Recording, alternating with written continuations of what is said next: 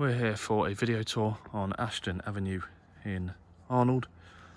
This property is situated within a quiet road and within easy reach of ample amenities.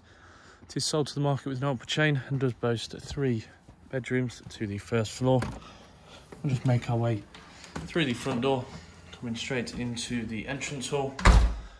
First thing you'll see is the entrance hall is a door to the left of the stairs and we also have a door on the right hand side when you come in which does bring us to the ground floor WC where there is a wash basin with stainless steel pillar taps. And then we do have the toilet. Just continuing downstairs we'll head to the kitchen. The kitchen has a range of modern units comprising of base level and wall mounted units with a lovely grey subway tiled effect surrounding it room for a freestanding oven and hob with a canopy extractor fan. Then we have a stainless steel sink set beneath the window which does have a draining board and a mixer tap.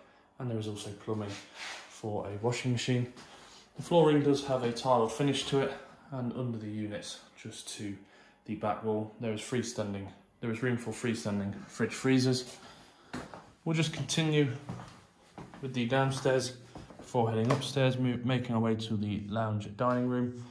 A really good sized room, which is a sort of L shape. Plenty of room for freestanding furniture with access to the rear porch, which does have a UPVC double glazed window surrounding and a door bringing us out into the rear garden.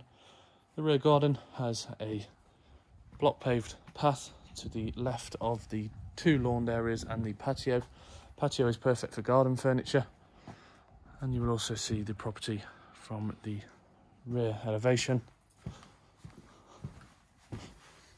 So we'll just make our way inside and heading upstairs to showcase the bedrooms and the bathroom. We'll start right to left when we get to the stop, top of the staircase, which does take us to bedroom number three. It is the smallest of the three rooms, but still a good sized single be used as an office for those who now work from home as well. And it does overlook the rear garden, so it might give you a bit of a better indication as to the size of it. Then we have bedroom number two, which is a really good sized room with plenty of room for freestanding furniture. Could even fit a king size bed in here due to it being a brilliant size. And then bedroom number one is situated at the front of the property and again, similar size to bedroom two, with a large window to the front elevation. Forgot to mention, there is a storage cupboard, which could be act as a sort of cloakroom area. And then we have the bathroom, which is a three-piece white suite, starting right to left with the toilet, the pedestal wash basin, then the bath with an overhead shower, which is a Triton electric shower. The bath does also have a tiled surrounding. And last but not least, we do have a second storage cupboard, which does hold the Worcester boiler to the property. So just to summarise, we do have this three bedroom property in Arnold, perfect for first time buyers.